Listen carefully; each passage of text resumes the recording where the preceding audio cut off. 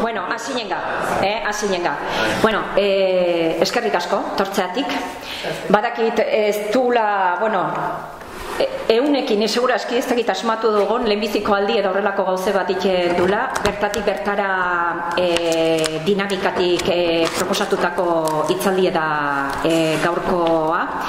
Eta e, elburu ezen pixkoat e, baserritarraren e, lanaren inguruko duintasunari buruz e, itzeitekoa. Eta baserritarraren lan azari ganen, aiga norbere bere konture ari denaz, baino baita ere soldatapekoaz. Ze gaur egun, ba, bi e, realitate hoiek e, daude gero e, Imanolek oso ongi argituko duen bezala. Eta beti ere e, gaie landu nahi ginun langile e, ikuspegitik. E, ba, gu, ba, serritarrok batzu behintza pentsatzen dugulako gure konture ari garela, baino aldi bere langile gala. E, hau argituta, e, esan behar dut, bueno, azken hogei hogei tamar urtetan, e, Europa osoan eskala hundiko e, nekazaritza eta beltzaintza eredu intensibo industriala e, bultzatu dela, ez? Eta horrek ekarri du nara, ba, aliketa prezio apalenetan, ez? Aliketa gehien e, ekoiztea, eta horrek ondorio larrik ekarri ditu. Ekarri ditu ondorioak, batetik elikagaien kalitate, ingurumenan, baserritarren errentetan, baino baita ere landa garapenen. Eh? Ba, landa, gara, landa ere mua e, ustutzen ari delako. E, badie datu batzuk aurtengo otsailean e, Europako plataforma batek, Ipsfood plataforma deritzanak, e, aurkeztu ditunak, e, iru urtetako e, ikerketa baten ondorioak di. Eta datu batzuk eman behar dizkitzue, pixka bat konturatzeko ze realitatetan gauden gaur egun. Mundu mailako nekazaritza eta likadura industriaren euneko iruroita marra, iru enprese kontrolatzen duen. Zerealaren mundu mailako merkataritza den euneko larogeita marra lau multinazionalen esku dago, baita Nafarrokoa ere eh? osea, hor eh, eh, komertzio horretan ba, oiek agintzen duen sistema dominatzaile honen ondorioz prezioak jetxi, jetxi indie baino langile migratzaile elikagaien saltzaile minoriste eta langile autonomoen lan baldintzak ikaragarri kaskartu indie eta nekazariari dagokionez esan behar da ba, e, sistema honen ondorioz ere ba oso prezio garesti ordaintzen ari dela zen e, mango dizkizuetat datuen arabera elikagaien balore katen nekazari jasotzen duen proportzioari dagokio zati horretan azken, bueno, laro gehieta amabostetik mila behatzireun da laro gehieta amabostetik bi mila eta emezortzire proporzioa euneko hogeita amakatik euneko hogeita, behera, hogeita batera jetxi da. Eta aldiz insumoak, insumoak die ba, gasoia e, fertilizantea bueno, kanpotik erosten die zea pensuko idena euneko berrogei igo da. Hori esate baterako hemen oso argi ikusten dugu asuriarekin gertatzen dena. Asuria dago duela hogeita hamar urtetako preziotan edo merkeagoan, baino aldiz, e, bueno, zai saltzen zaiena, eh, maioristei eta saltzerakoan, eta aldiz, e, ba, pensu, gasoiak oidena, ba, ikar, esan dizu ez, purutan e, igodian, ez? Horrek ekartzen, hori ekartzen ari da, nekazari txikiaren desagerpena, e, batetik, eta, ba, ertainak ere, ba, nahiko lan e, izatea, ba, bere errenta, ba, duin bat lortzeko. E, 2000 irutik 2000 eta amairura Europako lau ustiategitik bat desagertu eginda, baina hartzen baldin baditugu azken hogeita amar urtetan ba, bi, oza, iru etxaldetik bi desagertu indie. E, lurrari dagokionez izugarrizko latifundizazio prozesu ematen ari da, Europako lurren euneko berrogeita amabie, nekazal ustiategien euneko iruren esku dago. Osea, erdie baino gehiago, eh? Osea, iru, euneko iruren e, zea, esku dau, ez? Osea, konzentratzen ari da, gero eta esku gutxiagotan. Eta gero hori Mika, e, Imanolek e, oso ongiaz adieraziko digu, ba, hemen herriberan zegertatzen ari den. 2000 eta marrean, ekazarien erdia berrogeita amabosturtetik ora zeuken eta lauti batek irurogeita bost urte baino gehiago.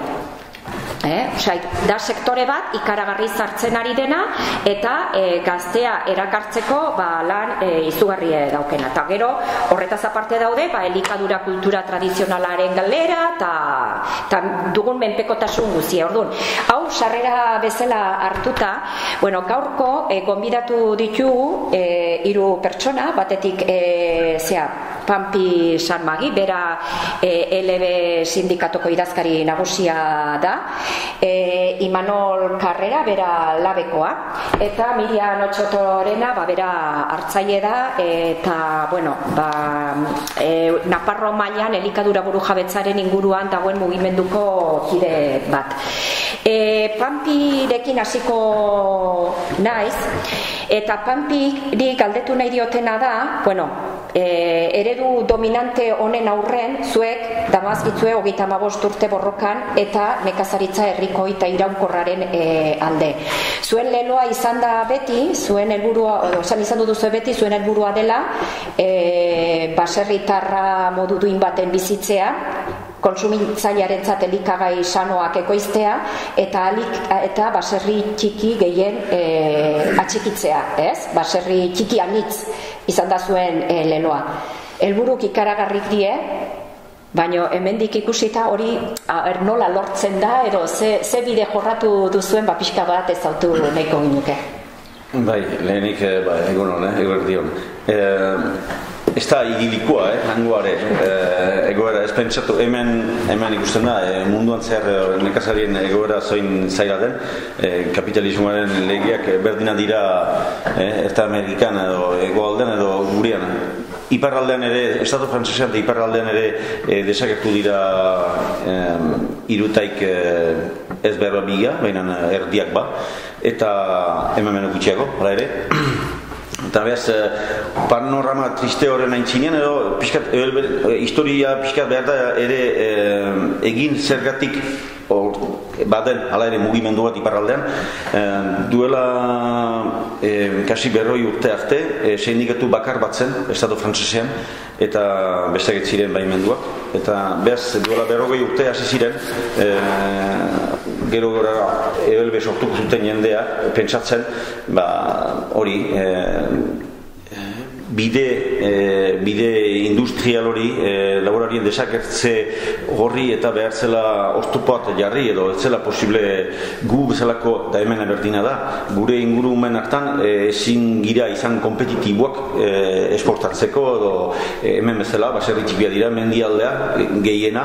Eta bez nahi baz zen e, herriak bisirik atxiki nahi bazen e, e, laboraria bisi, eh, bisi duin batekin eta segiz ezan, behar zela beste norabide bat hartu. E, eskolan eta erakesten zen e, hortarik baztertu eta beste alternatiba behar zela sortu. Bez, ELB hola sortu da, e, mitean orduan e, alderri sozialista, franziskako alderri sozialista e, podereat heldu zelarik, e, baimendu zituzten beste sendikatak.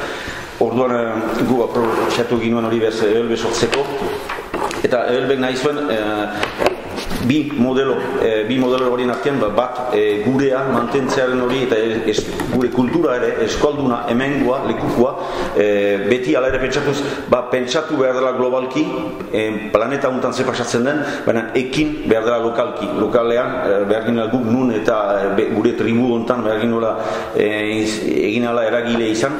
Eta bez hola sortu zen elbe eta bez e, ala, gure guk pentsatzen ginoen behar gina segitu orain arte beti egiten zen laboratza horrekin, kalitatezkoa zen, e, beti da nikala izan da, ere mutxipiekin, e, ardi, gure, gure baliabideak edo gure indarrak e, ez, ez daitezela nekezia bilakatu, baizik eta gure gauden hori ba, indar bat dela, e, gure baserri txikiak izaiten aldira indar bat, baina e, bertakoen dako, kontsumitzaile, bertako kontsumitzaileen dako aritzeko eta kalitatea egiteko, ez kompetitzeko, ez, ez, ez esportatzeko, baizik da gure jendearen e, hasteko.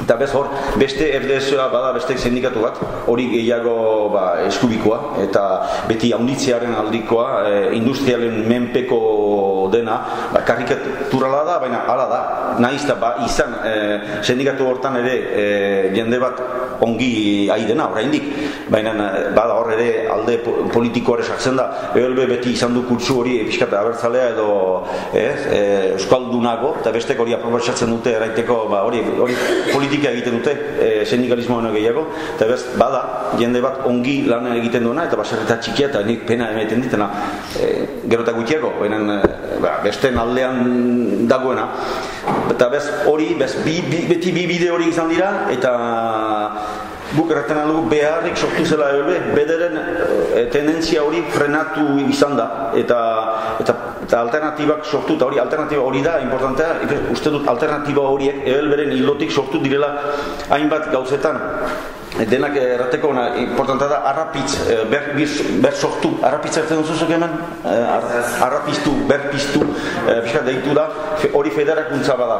Eta e, gu pentsatu dugu atalka zela aski e, mezu global bat izaitea errateko ba, nekazari nekazaritza iraunkorra behar dugu eta ez, behar da jendeak e, leloa bakarrik ez ditu entenditzen laborariatek behar zaio praktikoki pragmatikoa izan behar da. Eta zertan gure mezuak hobetzen aldu bere bizia edo zertan eh, eragile izaiten algira eta hor eh, hasi gira eh, kontabilitatea eh, kudeantza eh, simple simple eh, nola eh, guk pentsatu dugu hori ere eh, modu alternatiboa zen ba, kontabilitate bat ez, kontabilitatea eh, egiteko orduan adibidez ba, egin ezagun honi taldeka. Bestek egiten zuten ordu arte beti egiten zen hemen enpresario batek zela edo ez? Kontabilitatea da zoaz zure kontabilitateekin eta kasi gordea. Bako pentsatu hori behar zela e, publiko e, publiko taldeka egin behar zela. E, a ber, ik e, zuen baserrian nola ateratzen da nerean nola idean nola eta zer dira nekeziak zergatik hemen hemen ongi doa bestean ez hain ongi eta hori e, ikusten dira ere hola e, desku, deskulpabilizatzen du ere nekazariak ez da beti, beti bere falta e, geiz, txifre e, zenbaki txarrak ataratzen bat eta da, e, taldean ikustea ba, hau beharra hori hobetu dezakek hola eginez eta hori ere importanta izan da. Eta hor hor zulatu dugu jende hain sartu da hortan. Gero ekologik, ekolo, bide ekologikoaren lantzeko ble biharko lujaren elkartea sortu da. Gero, etxe ekoizlen elkartea ere sortu da, hor, zen, e, ba, bukatu behar zela beti kooperatiba handi horiek, kooperatiba izena bakarri daukatena, kooperatibarena, e, horiek saltzen, e, e, gozore garrandu zela, duela hogei urteko, hogei tamar urteko presioekin, hori ezin zela, eta bez, hasi jendek, gerotak gehiago berriz hasi dira, ba, elaboratzen etxen, adibidez, arkumea, ba, ez dugu salduko merkatuan bisosetan, ba, hilen dugu, badiria suertea dugu mantendu baititugu ere bertako hiltegiak ba, bilotza bertan hil, puskatu eta norberak bere inguruan eta saldu. Hori ere bultzatu da initz, Gero sormarkak sortu dira, e, lau sormarka baitugu eta hori ere mutxikiatean e, importanta zen, e, izan da arduarena hori iruligi lehena, e, gero e, ardigazna, oso irrati edo sormarka, gero biper, espereteko biperrarena, eta azkenik eskoltxerria, ez, eh, eskoltxerriaren sormarka. Eta hori ere, e, beti e, sartu behar da hori lehia batean, e, bi sindikatuen arteko, bi modelen arteko. Bez, bada, e, eskolerria ez da ofizialgi ezen esitzi zen, da hori Pirineo Atlantik, Atlantiko departamentu ongi hortan. Hor bada egitura publiko bat, e, nekazaritzako gaietaz da arduratzen dena, hori da xamra da giltu pauekoa, eta baina beste, beste modeluaren eta kudeatzailea, Eta bez, eiek ere bazituzten beren e, kontabitetik egiteko moldeak, e, bez, dena paraleluki egiten da. E, besteke, bari matuten zerbait, gus, gus gira, alderantzizko modeloaren e, beste zerbait bultzatzen. Eta, eta iniz gauzetan hola, e, adibidez, gazte batek ezin badu e, gaurko baserriak ez dira duela hogeita urteko eskoen bezalakoak e, lehen kasik e, beti bazen e, segi, segida bat guer, segida neska alaba mutil bat e, segitzeko. Ez da gehiago egia hori e, baserri tar batzu badira e, ez baitute edo soltero direlakon edo seme alabek ez segitu nahi baserrian ba, eta beste aldean badira gazte batzu kaletik e, iritar, iritik edo datozenak eta ez dutenak e, medioak, mediorik e, erosteko berreu mila edo irureu mila euroko baserri bat. Behaz hor pentsatu izan da ba, hor behar dugu lurra egin publikoa da e, ba, ez da lan tresna bada ez da kapitalizatzeko e, tresna bat. Eta behaz e, adibidez baserri bat saltzen bali mazen baserritu gira diru, publiko, diru publikoa e, jendeari, gure jendeari, kaleter, eh, kaleko jendeari eta e, lur zaindia e, egitura sortu dugu hortako, ba, diru bat bildu da baserriaren, baserri, baserri horren eosteko eta hori mantentzen da publiko. Eta gero e, baserri hori usten zaio e, neska edo mutilari. Horrek bere demora eginen du hor eta bera jubilatzen denean berriz rekuperatzen da baserri hori eta beste bati usten diogu. Eta bez horre jola e, kendu dugu ere merkatu espek espekulatibo hortarik kendu dugu baser, baserria saiatzen gira hori egiten. Gero eta gehiago e, iritzen da hori, gero eta ikusten dugu hori horrek funtzionatzen duela ongi. E, gero badira e, gaztak egiten egiteko gaztak azitzeko edo gaztak idortzeko edo ontzeko ere horik ere e, Siberuan e, behen eta horik ere egin sartu dira betiko federakuntza hortan. Eta e, hartzain soile, soilak ere hemen ez dakit badelez hori hartz, gukan baditugu hartzain soilak. Hartzaina bakarrik lurrik gabe bakarrik hartaldea daukate. Eta e, behaz, neguan dira baserritar baten etxen eta udan bez e, beren e, mendian, bortuan. Eta horiek ez duten e, titulu edo estatutus publikorik edo ez zaukaten e, zinez e, deskonsideratua bezala ziren eta gaurko Europako e, adibiz primak e, laguntzak eta ez zituzten e, eskuratzen eta gure borrokaren borrokari esker edo eta horiek lortu dute bez e, estatutuz bat eta e, mendiko txabola orain konsideratzen da e, baserri bezala. Eta bez e, ari loturik edo unkitzen dute e, bisoz e, gero buru beltza adibidez ardi buru beltza hemen latxa edo hemen, hemen guk adar dunak ditugu gehiago hemen, hemen ez bezala. Eta hor hori ikusten zen ardi hori arraza hori desagertzen aizela, ba, e, intentsiboak esne gutxiago emiten du lakon edo, eta behaz, batzuen norabidea zen, e, batea ba, hori kendu, eta jarri e, kanpoko arrazak, ono gobiagoak, edo hemengo latxaroan buru gorria, edo kanpokoak. Eta beti ere pentsatuz ez, bertako mendetan izan bada buru beltza, zerbaitetako izango da, e, hori mendian o, bortuan hobekiago ibiltzen delakoan, eta da, eta bez, ez dezagun utzu hori galtzen, eta bez, ardi buru beltzainako eta eskualtzerrien dako adibidez eta gerostik egiten da ere pirina ikain dako kasi ardien e, bon, hola saitzen gira e, iduriz hau e, gune batzu direnak ba, gure ez gure hori, hori indarrak bilakatu behar dela eta hola saiatu gira eta zitu denak erraten e, bai, behar behar gehienak, bai. Eta, hola, hor, atalka, atalka um, pentsatu globalki, baina gero atalka egin, um, ekin, eta pentsatzen dut horri esker dela, e, oraindik e, gero hemen ez bezala, han, e, hemen han industriari ez dugu, Pentsatzen dut lehitzan edo hemen inguru gazte batek e, nahi badu hilabete sari bat e, ba, duina edo ukana, ez beti segura duina munden kokatzen, mena, e, ez dela behar ba, ez dela zuzen, zuzenian nekazaritzari begiratuko, e, han ez da auturik, Han nahi bada herrian egon, eta hori, hori bada, sustraitua da, le, gazte batek eh, nahi du herrian egon, eta ez du auturik, edo nekaz, nekazaritza da, e, amaren nako, behatzi, amaretai behatziek autu bakarra dute nekazaritza. Bez, e, hori de, iduriz aurrezia da, ez, hori de gure, da gure indarra, horrek herri txikietan ere, ba, gure herrian adibidez, e, irureun biztanle dira, Baina joan den eh, bi mila emezortzian, eh, zazpi edo zortzi gazte inkorporatu dira eh, hori eh, nekazaritzan. Eta hori zenbaki, konparatzen bada frantziako zenbaki bat zorita izugarria da. Eta horrek sortzen du gero giro bat. Eh, zortzi gazte horiek elgarra zautzen dute, goizean ardiak jaitsi eta batek asna behar badu egin edo, baina amaretan igor kafe bat hartzen dute beharrekin, badoa, bat, badoa beste inbort ardite irat eta komentatu eta e, emulazio zen zen hori emulazio estimulatzen dut bada bada gogo bat. Eta nola hobetu e, hau du gure lana nola hobetu hau e, baina ez bakarrik hobetu kantitatean. Bizi baldintzak ere nola guk gutzat importantea da e, bai behar dugula lan egin e, bizitzeko hilabete sari bat ateratzeko nekazari batek ere. Baina ere bibabilitatea edo ira, nola bizi bizi kalitateare importantea importantea dela. E, Eh, lagunak izaitea e, laborari batek ere ez duela e, berizi duela oporretara joitea, berizi duela denbora libre hartzea, e, hainbeste egituren biziarazteko horre suposatzen du e, militantismo behar, dela. E, Amez, berrogoi urte sortu ditugun tresna horiek, suposatzen dute indarra initz, e, jendea implikatzea, eta, eta nahi badugu bihar ere tresna horiek bizi altern, gure alternatibo horri eman e, gero eta gehiago piztu e, ba, horrek suposatzen demora, formakuntza.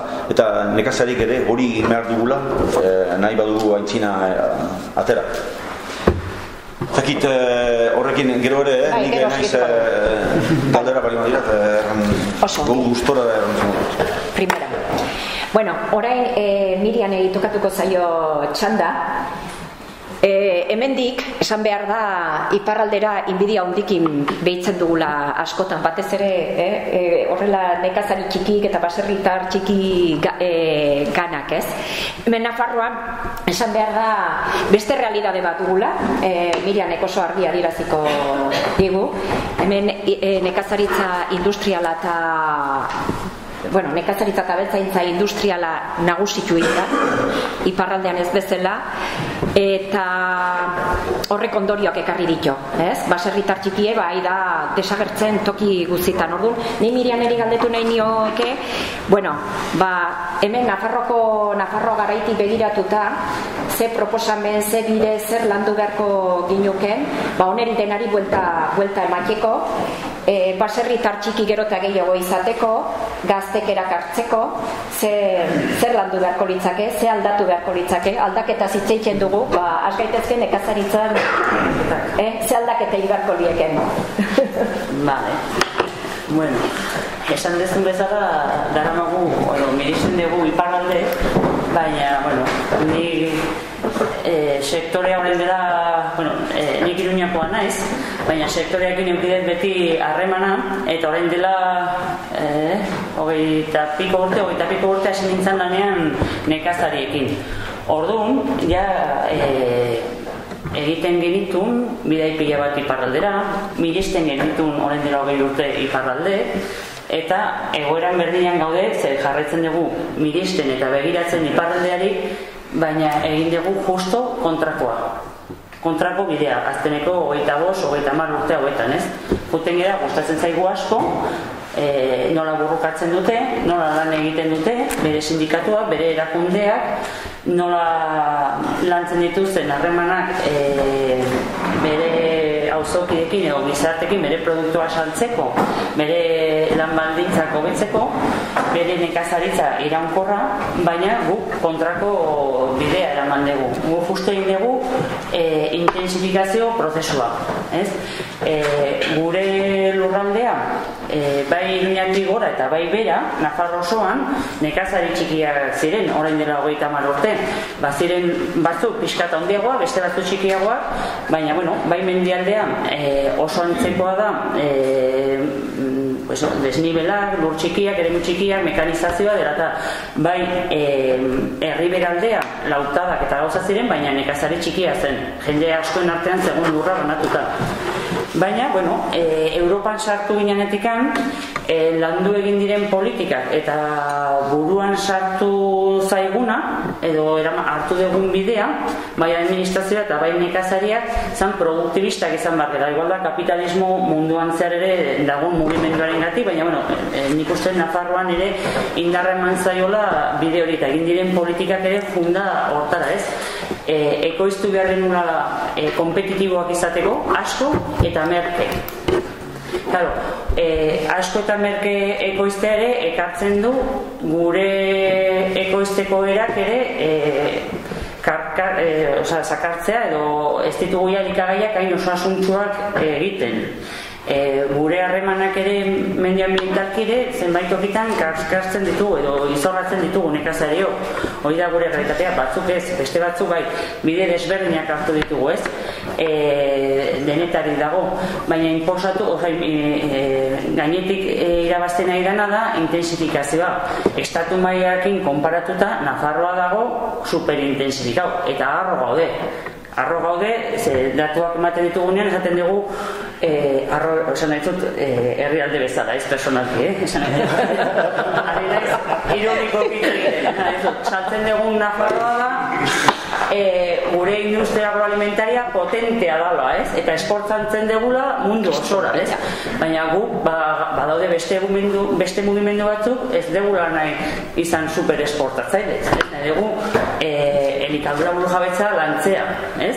Eta bertako ekoizten dugun elikadura osasuntxu bat gure rekonozimendua bai ekonomikoki, baina baita sozialki eukitzea eta bertan sartzea eta elikatzea gure gure herriak, ez?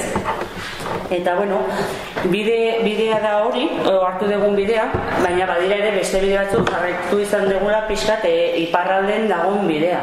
Zer gertatzen zaigu? Direla bideak banakako bideak. Ez dira lotuta dauden harremanak edo bideak.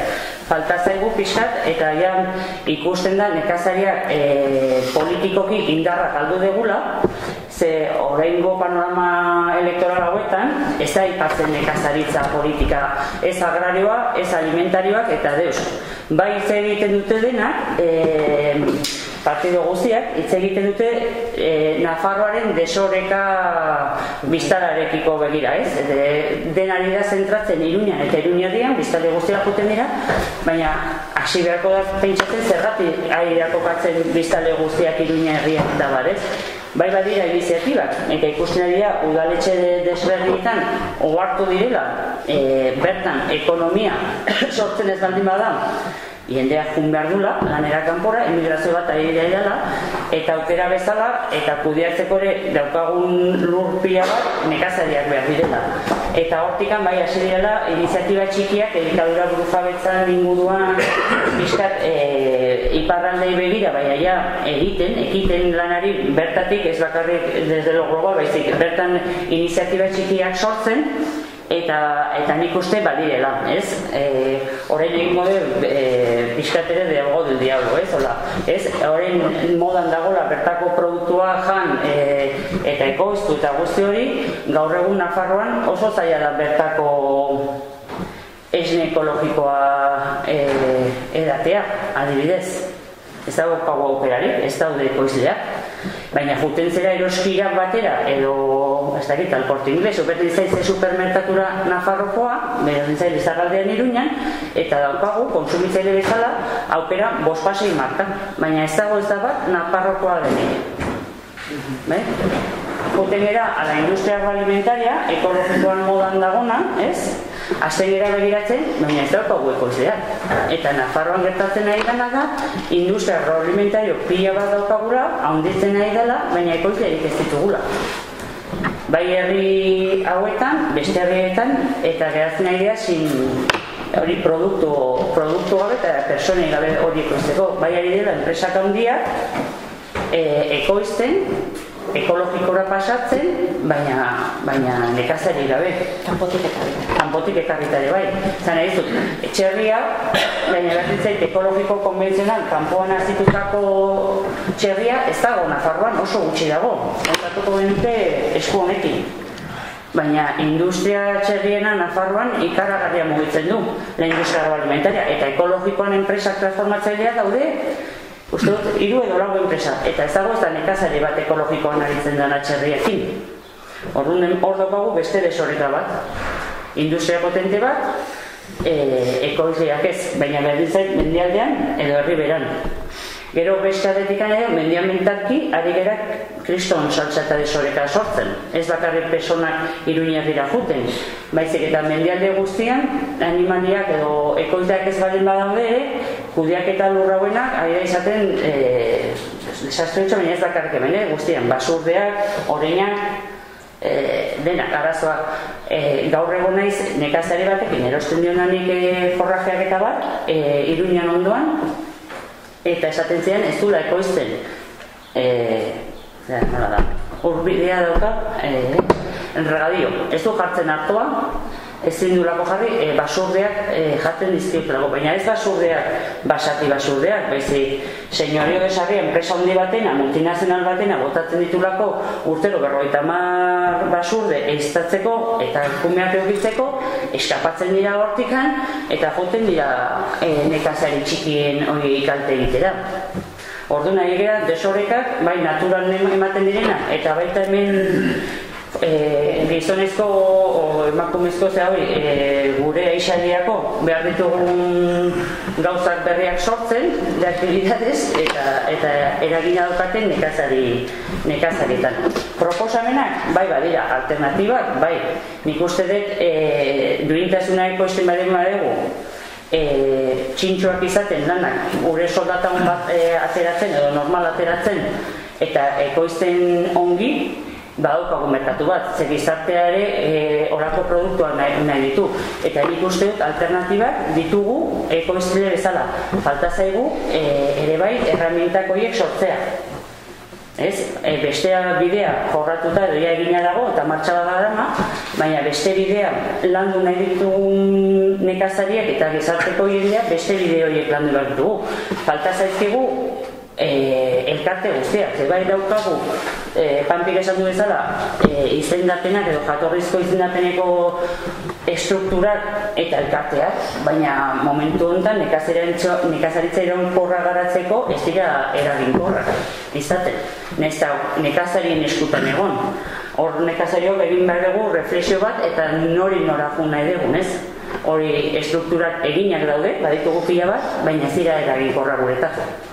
Orduan gure eskutan dagoen bai pixkat e, zen nahi dugu eta nola borrokatu nahi dugun e, alternatiba horiek e, sortzeko. Egin behar da lana, Juan esan du implikatu behar garela, formatu behar garela eta azkeneko urte hauetan dago keston desmotivazioa sektorean. Eta ez gara implikatzen eta ez gara formatzen. Hori ere nire iritzia da, igual da pizka pesimista da, baina, baina da ikusten dudana trajektoria.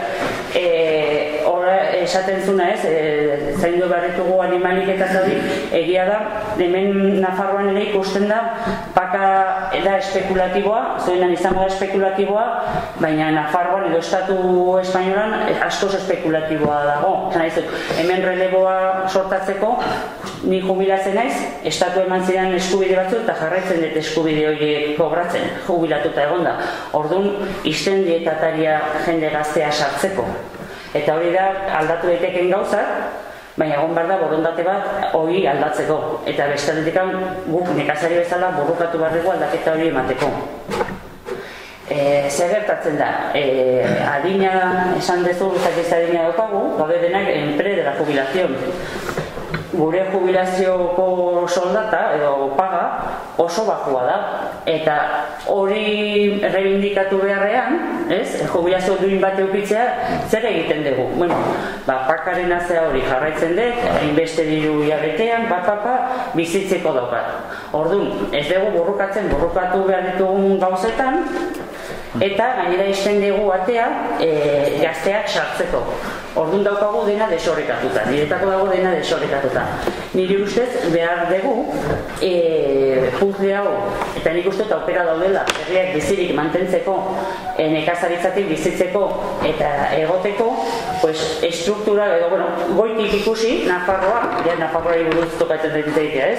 Bai, bai, bai. Ba, Nafarroa goitik ikusi, ez? Jare ez da berri zaiterri bera mendialdea, ze azkenean intensifikazioa manda mendialdean Eta herriberan, ekialdean eta mendebaldean toki guztietan, orduan hartu eta ikusi eta pentsatu, zen olako Nafarroa nahi dugu. Denak Volkswagenean lanean, nahi ditugu abetzainak, nahi ditugu basurdeak, zer nahi dugu Nafarroarako, ez? Zen olako elikagaia jan nahi dugu. Gizarte bezala abetzainak ez garenak ere pentsa dezakegu. Zen, zen olako elikagaia jaso nahi ditugu, edo jan nahi ditugu. Orduan, hortik arasi eta hor panpik aipatutako estruktura guzti horiek, ez? Elkarte desberdinak, jun garatzen, baina jakinda, e, nekazaritza iraunkor baten Osa, e, osa, nekazaritza iraunkorra lantzeko. Ez, ezin da eman orain egun da larro Laren laro giroa, baina bai hasi behar da. Eta edozein politika txikia Nafarroan egiten dana, edozein dauka eragina landarentan eta herrien bizi iraupenerako. E, berdin da, esan izut, bai e, behar ditugu mediku, behar ditugu eskolak, behar ditugu goza asko. E, nekazaritza intensiboa baita egiten duna, zer da berdin da iruñan bizi, edo herrien bizi. Nekazaritza orankora bertan bizi behar zera. Oso zaila da, e, kanpoan bizitzean ikazaritza iraunkorra egiten baldin badezu. Orduan, globalitz, globaltasun hortatikan hasi beharrera lokalean lantzen, bai udaletxeekin, baina bai nekazarien artean eta bai e, konsumitzailekin guztien artean. Eta baita beste sindikatuekin, langileen sindikatuekin. Ze azkenean ere gure gabezia borrokan dauka eragina gaur egun beste e, gure lagiletan. Ze e, bideo hortan markatu dutena, edo sinistu izan deguna, asko ikoiztu behar degula, gure lan kopuru onditu da, eta duen behar denu langileak. Merke egiteko, ezin deguna da, gu merke ekoizteko, jendeari gutxi horrein Eta hor ere, desoreka bat sortzen nahi da. Eta gero e, e, gure prezio duinak eskatu beharrean egiten duguna da gutxi gordendu eta hori ezin ezkoa da. Borrokatu behar dugu nekazario prezio duin batzuk guk jasotzea guk laguntza behar baldin badugu jende horri ere e, ondo ordaitzen Zer, justu egiten nahi gara kontrakoa. Gu apal-apal eta besteari ere ez horrendu. Eta egiten dugu e, duintasun hori trasladatu. Duintasun falta hori trasladatu. Baina, bueno, alternatiba badira, eta ari dira gauzak sortzen, eta posible da, baina hasi behar dira pixkat implikatzen dena, eta formatzen.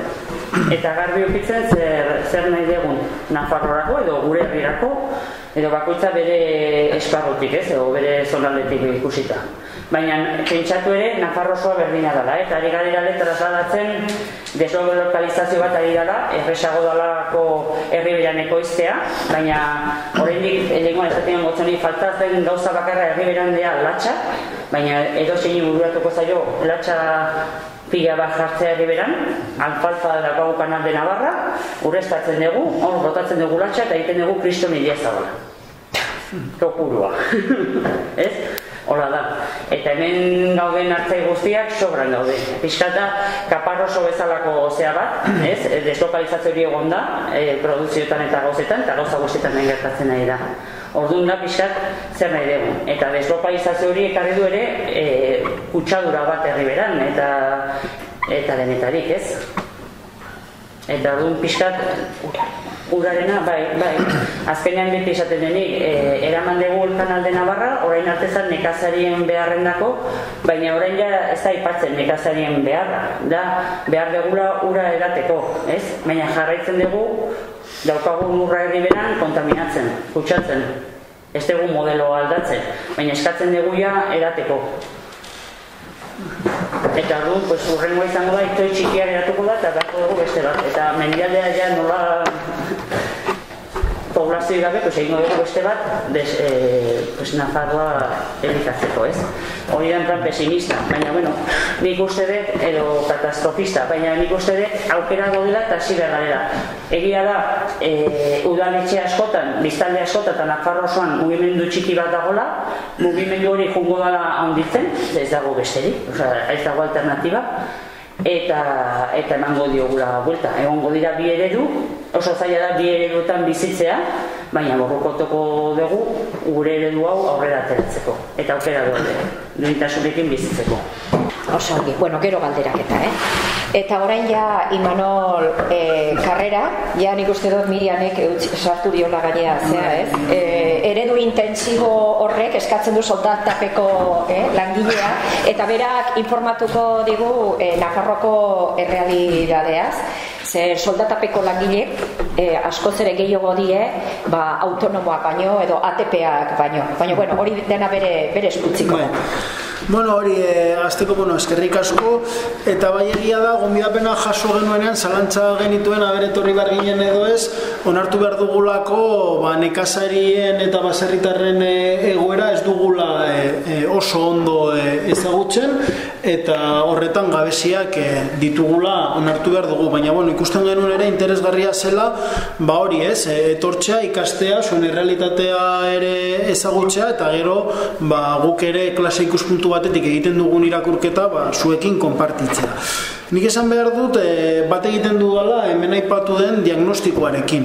E, ahalik, e, bueno, presioa paletan ahalik eta gehien e, e, ekoizteko sistema kapitalistak sortu duen eskalandiko e, nekazaritza eta belzeintza eredu intentsibo industrial honek lau, lau ondorio ditu bereziki gure uste apalean. Lehenengoa da, e, elikae gaien e, kalitatea. Eta nik uste dut esan behar dugula sistema honekin gure produktuen kalitatea kolokan dagoela. Vale? Eta nik uste dut hori ere e, oso garrantzitsua dela plazaratzea, plazaratzea eta gizartearekin konpartitzea.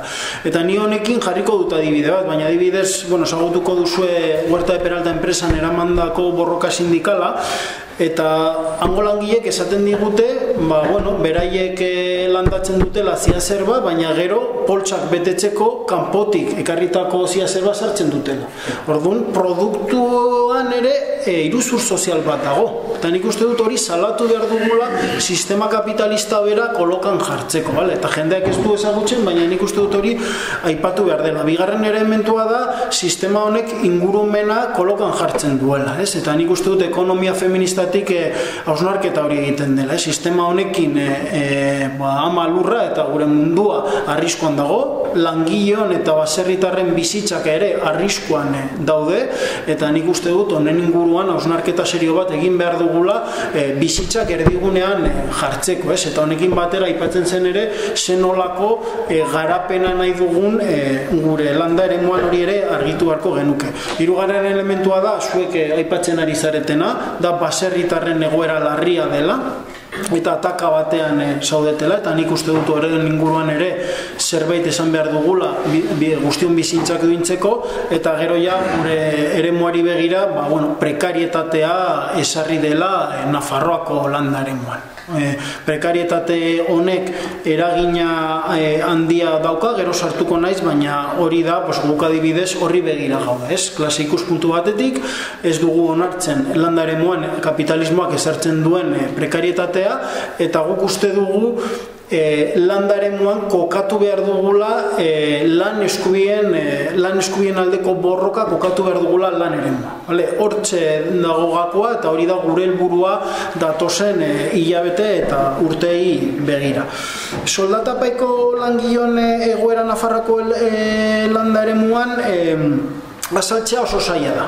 Zergatik, e, ez dagolako inongo diagnostikorik. Osa, guretzat oso zaila izaten ari da, e, neurtza zenbat langile gauden e, landare muan, e, eta zein baldintzetan eta guk eskatu dioguna gobern, Nafarroko gobernuari da honen inguriko diagnostiko bat e, e, egitea. Zergatik ikusten dugulako errealitate iskutu bat e, dugula gai honekin. Hau oso adibide honekin, oso adibide praktikoa izan dugu Huerta de Peraltaren gatazkarekin, ba ikusten dugu hori. Osa, herrialde honetan diagnostiko serio bat egin behar dugula jakiteko zin den gure goera. Ze askotan esaten du guztia ze gaizki daude Almerian, ze Almerian esplotazio kasuak daude eta bar, baina kasu horiek ere men Nafarroan eh, ditugu eta horri heldu behar diegu.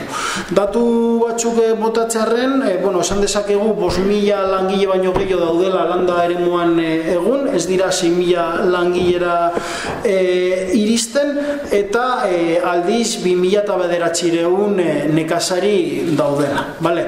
E, honekin, bueno, tendentzia da jeitxiera dagoela, baina bai egon zela momentu bat noiz, noiz hau e, handitu zen, Nafarroko gobernutik dekretu baten aldaketa bat egin zutelako eta irizpide batzu malgutu zituzten eta horren ondorioz ba, ba kopuru hau igo zen, baina bueno, tendentzia, berako tendentzia da, ba, ipatutakoa, hemen bultzatzen den eredua, pues da, intentsiboa eta eta industriala e, sindikalki indarko relazioetan esan behar dugu ba, komisiones obreras e, obreras e, hegemonikoa dela e, landa ere muan e, euneko berrogeita marra koma bederatzi bederatziaren ordezkaritza dauka. Bigarrena UGT da euneko hogeita marrarekin eta hirugarren sindikoatua lab da euneko hogeiarekin. Esan behar dugu orain dela la urte euneko amarrean gundela eta ba, mar punto igo, igo ditugula gure ordezkaritza mailan eta hori oso berri ona da guretzat, baina ikusten dugu ere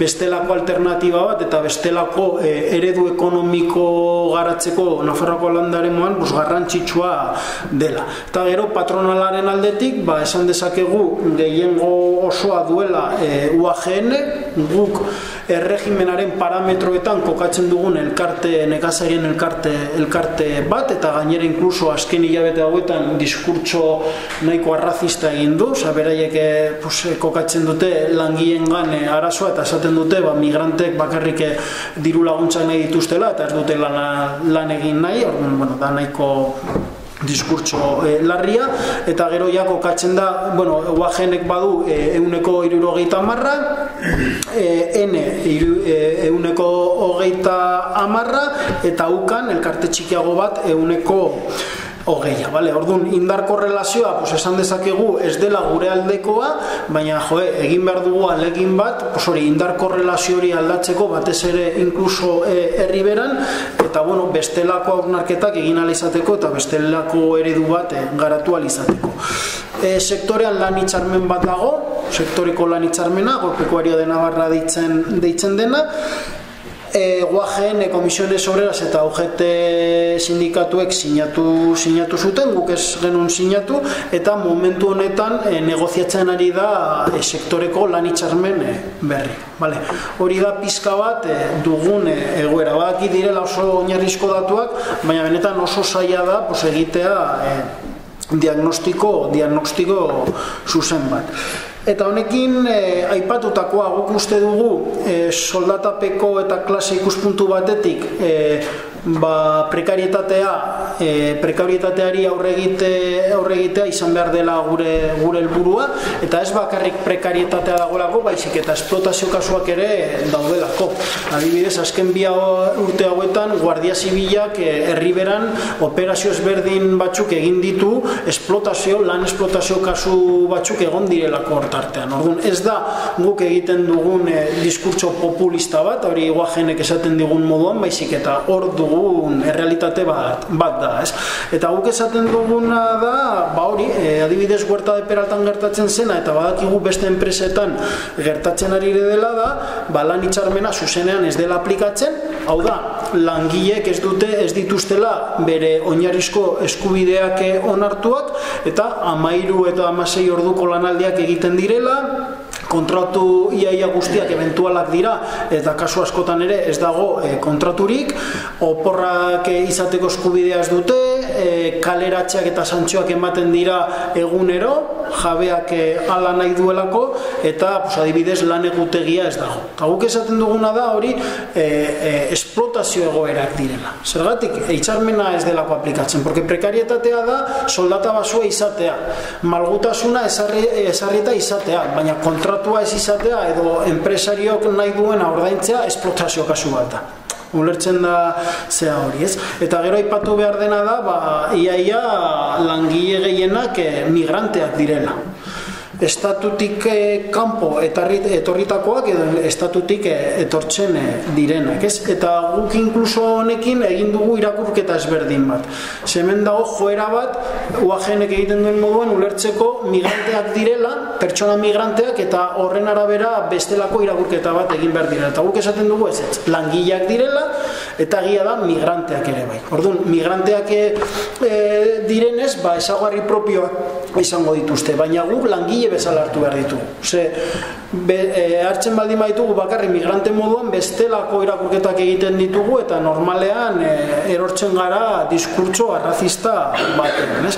Eta nik uste dut alde horretatik ba, lortu genuen e, huerta de peraltako borrokan hori lortu genuen. Izatea, mantentza beraien langile izaera eta horren inguruan elkartasuna e, pistea. Eta gero hildo honetatik beste adibide bat e, jartzeko, pues, aipatuko nuke, bueno, orain dela aste batzuk egon ginen sateko lagunekin, e, e, Andaluziako e, sindikatuarekin eta beraiek esaten ziguten ba zeinsurien kanpaina oso gogorra izaten ari zela, ez? Adibidez, ba hori, pues igual daude 13 orduko lanaldi batekin hartzen dituzte 6 kutxa, baina horietatik bakarrik bat onartzen dute, vale? Eta bakarrik kutxa bat ordaintzen diete. Zergatik, orain e, e, bakarrik goi mailako zeinzuriak hartzen ari direla. Kampaina honetan esaten zuten ba, oso bitxe izaten ari dela, normalan gertatu gertatzen ez dena, baina hori, bakarrik goi mailako zeinzuriak onartzen dituztela, eta zu egon alzara amairu ordu lan egiten, baina bakarrik kutsa bat orainduko dizute. Inkluso, beraiek esaten digute, ja, daudela egoera batzuk, non etorri den jendea eta esaten zen e, Andaluziatik normalean kanpaina ezberdinetan parte hartzeko 2000 langile etortzen e, direla esaten e, ziguten batzuk ez dituz ez dutela dirurik Andaluziara bueltatzeko. Vale, o hori da e, duten e, egoera larria. Lan arriskuak ere pos hor daudela eta prebentzioa ez dago ni begira, pos orain gauean egiten dute lan e, lokatza dago eta bueno, bestelako arazoak daude hor, lanzama handia dela. Eta hori lehen adibidez etxea eta bidaia ordaintzen zen eta egun e, plastikoa erabiltzen denez plastikoa beraiek ekarri behar dute eta beraiek jarri behar dute alde aurretik eta e, plastikoa jartzagatik ez dute zer jasotzen vale? hori da egungo realitatea landare moan Nafarroan Osa, ematen du Pues, e, orain dela hogei urteko gora bat dela, baina ez da egun ematen dena e, hemen Nafarroan. Orduan ikusten dugu, ba hori ez, bestelako lan bat egin behar dugula, ba, politika eta goera eraldatzeko. Eta gero honetan egongo zen ja beste elementu bat eta da erregimenarena, ez? Osa, hemen e, esan dudan moduan hegemonikoak dira komisiones eta, eta UGT, enpresetan sindikatu hauek bultzatzen dira, guk autoeskunde sindikala bultzatzen ditugunean lantokietan, enpresa, enpresatik inkluso osatzen dute autogaitza bat, beraien aldekoa, komisiones horaz eta UGT-koa arazoak ez, izate, ez izateko, eta ba, ba, horrekin ikusten dugu zein den egoera, ez? Eta igual aipatzeko elementu bat e, da hori, pues, huerta de peraltan akordio batera e, iritsi ginen, eta gero ginzu patronalak antolatu zuen ez honen arira, eh? basuten mintegi bat eh, deituta eta bos, bueno, egin zuten eh, enpresarioekin batzuekin eta politikari batzuekin upeneko politikari batzuekin bos, bilera bat eta upeneko batek hartu zuen eta berak esan zuen oso larria zela labekin akordio batera irista huerta eperarta Zergatik, horrekin labetik bultzatzen dugun alternatiba agenda politikoaren baitan kokatzen dugulako eta referentzia bat izan daiteke langilei begira, baina gero bestalde batetik ba, sindikatu eskertiar eta abertzalea garen enean, ba, gu herri bera sartzea beraien helburu politiko estrategikoak kolokan jartzen direla. Ez? Orduan nik uste dut hori dela dugune erronka Nafarroan alde batetik duindu behar ditugula e, langion lan baldintzak eta gero bestelako e, e, alternatiba bat garatu behar dugula Nafarroa osoan, baina bueno, nahi baldin bada herri beran hain, hain zuzen ere. Ordun ni baikorra naiz, nik uste dute herri honetan beti gaitasuna izan dugula alternatibak eh, sortzeko, nik uste dut horretarako aukera objektibo eta subjektiboak eh, daudela, eta nik uste dut elementu nagusi bat izan behar dena da, ba, Nafarroako gizarteak paper bat jokatu behar duena. Eta hori guk ikusi dugu ondo huerta de peralta e, gatazkarekin, bakit beti esaten dudala huerta de peralta, baina izan da guretzat irakaspen bat, eta da gizartea implikatzen baldin badugu, gizartea aktibatzen baldin badugu kontu honetan, bestelako alternatiba garatu dezakegu, bestela ez. Eta gizarte jakin behar du, bere produktuen kalitatea arriskoan dagoela, langileon esplotazio kasuak daudela, eta horri gizarte demokratiko bat eraikitzeko heldu behar e, diogula. Gero, eragileok, sozialak eta ekonomikoak e, ezinbesteko paper bat jokatu behar dugu e, honetan, eta noski instituzioak ere bai. Ez? Orduan nik uste dut hori oso garrantzitsua dela e, proiektatzeko gure alternatiba. Eta gure alternatiba hiru e, elementuetan ere oinarritu behar da. Nafarroako produktuan, esan dudan moduan, Nafarroako produktua egia esateko e, prestigioa dauka, nazio artean ere, baina esan behar duguna da, hori kalitatezko produktua izan behar dela alde batetik, baina oinarritu behar dela lan baldintza duinetan. Bai baserrei eta begira, bai langilei eh, begira. Bigarren elementua izango zen, e, klase sindikalismoaren baitan aliantzak sortu behar ditugula, eta dibidez guzatekin harremanetan e, gaude, ba bueno, langilei informazioa emateko, berai jakiteko eskubide batzuk dituztela eta aldarrikatu behar e, dituztela, langilon e, subjektuaren berrosak eta eman behar dela, e, honi ikuspuntu kolektibo batetik ikusi behar e, diogula, eta ere konfrontazio batera jo behar dugula. Osa, borrokak piztu behar dugu, lan eskuien aldeko borrokak, e, benetan e, nahi ditugun baldintzak e, lortzeko. Eta ja irugarren elementua izango zen, nekazari eta langileen artean harremanak e, estutzea. Hori ere ikusi dugu. Oso oso garrantzitsua gure artean e, aliantzak e, sortzea, bakoitzak ezagutzea zein den bestearen e, egoera eta e, pos interakzio minimo bat e, izatea. Aipatu den hildotik, osea, kate oso asaindu behar dugu eta badakigu e, sektore honen egoera ekonomiko oso txarra dela, baina e, hau haintzat hartuta ezin duguna egin da langion e, ba eskubideak e, zapaldu edo gutxitu, ez? E, nik uste dut bestelako osnarketa bat egin behar dugula ba kate osoan duintasun elementu hori lehen aipatu dena e, e, mantetxeko. Inkluso ere ikuspuntu batetik eta da bestek horrelako jarrerak hartzen baldin badute neka, beste nekazari batzuen aurkadoa zelako eta nik uste dut hori ere e, zein du behar dugula ikuspuntu, ikuspuntu horretatik.